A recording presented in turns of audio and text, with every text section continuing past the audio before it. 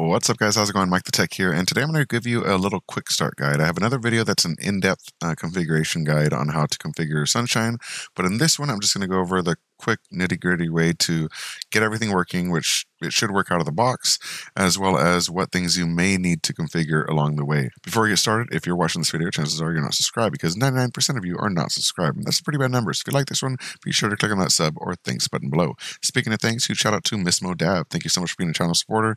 If you want to become a channel member and get shout outs in videos like this, click on that join button below.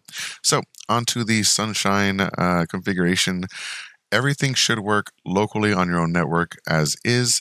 Uh, the way you get it started is you jump into your uh, Moonlight client on your phone or other device. Uh, it'll search your local network, find your computer. You're going to click connect. It's going to ask for a PIN, or it's going to give you a PIN. And then on your computer, you're going to go to PIN, and you're going to enter that number here, and you're good to go. Now, to configure and actually adjust this, uh, you're going to want to change the name to something you're going to remember. So I changed mine to Sunshine Gaming PC. And essentially nothing else here needs to be uh, changed too much. Um, I would enable UPnP to make sure that you can access it from anywhere. And if you plan to uh, access the UI outside of your home, like you want to actually configure this from somewhere else, then you want to enable um, access to the web UI. Uh, you can also choose specific resolutions. So if you have a Steam Deck, for example, you can enter 1280 by 800 here. Uh, so if I just enter 1280 by 800, uh, that will give us the chosen resolution for the Steam Deck, and then of course frames per second. Also for gamepads, we have our PS4 gamepad or Xbox 360 gamepad. This is which one's going to be emulated on the host, so that's like what's the game going to think you're using. So uh, generally, uh, Xbox 360 is the one to use, but if you're actually using a PS4 gamepad, maybe you want to have the controls mapped properly there uh, in game. So we'll hit apply and save. And then there's nothing to edit in files. Under input, the only thing you would really need to change here is the uh, mouse and keyboard input. If you have guests on the system and you don't want them to have remote access to your uh, whole computer, uh, you could just enable the gamepad. But some games do require uh, mouse and keyboard and are emulated in gamepad, so I generally just leave this on. Uh, the key repeat delay is kind of like a turbo, so if you hold down a button, it's going to repeat over and over uh, however many milliseconds you enter here. And otherwise, you can hit save. Audio and video, none of this really needs to be saved. Everything's going to be automatically chosen for you. In my configuration video, I show you how to adjust this if you'd like to.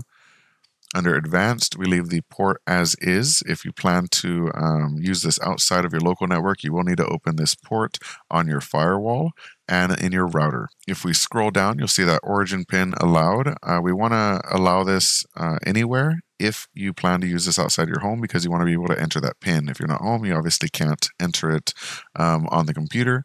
So you want to be able to access this from outside your network. So enter anyone may access slash pin. You're still going to need your Sunshine password, so it's not like it's completely open to the public, um, but you'll need to enter your Sunshine name and password, and then it'll let you enter the pin.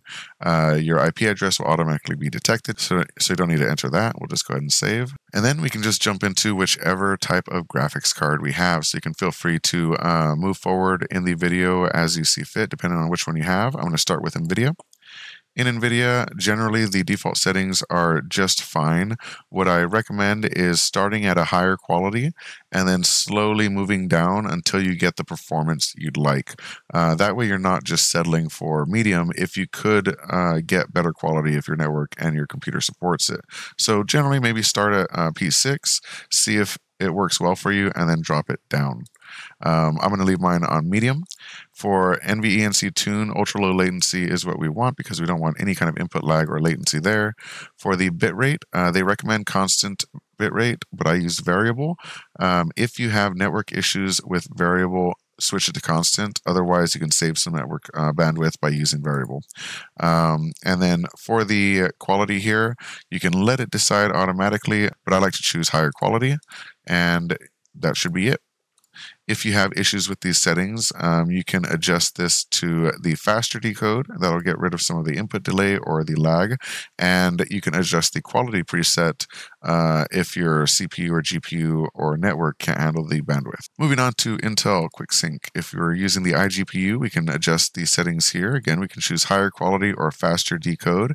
I like to choose higher quality and then adjust the uh, QuickSync preset starting at good or better Uh, we start here, and then if it's not uh, up to speed, if it's kind of like laggy or um, you're getting some input delay, then you can go ahead and raise this up until it's uh, to your needs. And if uh, you know it's running at 60 frames a second and it looks pretty good, you can leave it there without having to sacrifice anything. So go ahead and hit apply and save, and you're good to go. Now for AMD. AMD, we want to basically choose uh, either quality or speed. Um, balance tends to do really, really well here, but uh, if you want to try it, you can choose quality first and then uh, lower that down if it doesn't work for you. Because obviously, if we can get that great quality and still play pretty well and not have any input lag, then we want that. But if you get any input lag or delay, go ahead and switch it back to balanced and you should be fine. For the AMF rate control, uh, the default is latency constrained variable bitrate, and this is generally recommended. And it's going to essentially check your latency at all times or at certain ping rates, and based on that, set the bitrate of um, what your network can handle. This is a great way to not use as much uh, network bandwidth as you would if you're in like a menu. Uh, so variable bitrate would have that really low. And then when action does start happening and it jumps up, it's actually not going to jump up too high that your network actually lags out or anything. So this is generally a good one to keep uh, set right there. For AMF usage, you want to leave this at ultra low latency. It may be tempting to try these other ones, but this isn't actually for live streaming. This is for recording and such. So ultra low latency is for streaming, and I recommend that. For pre-analysis, I recommend disabling. And then for the AMF decoder, by default, it's on auto, but I like to try higher quality first, and if it gives issues, then switching. And finally, software encoding. When would we want to use software encoding? Well, let's say we have a really good CPU and not a great GPU. Uh, you would want to leave your GPU to actually work on the game itself and render as many game frames as possible.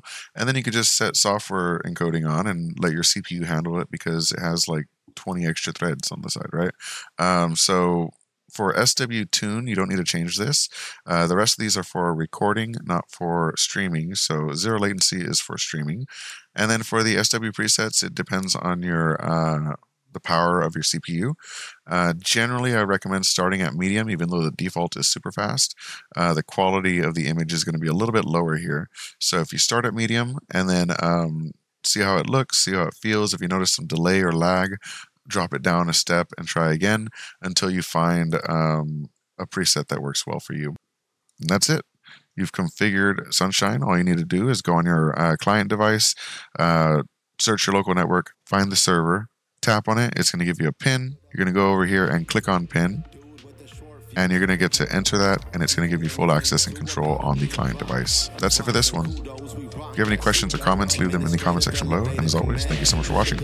Peace conversations to games to interviews with a broader view. He keeps it fresh, always brings something new. It's Mike the Tech, Mike the Tech, huh? Mike the Tech, the architect, huh? Mike the Tech, Mike the Tech, yeah. Mike the Tech, the architect, huh?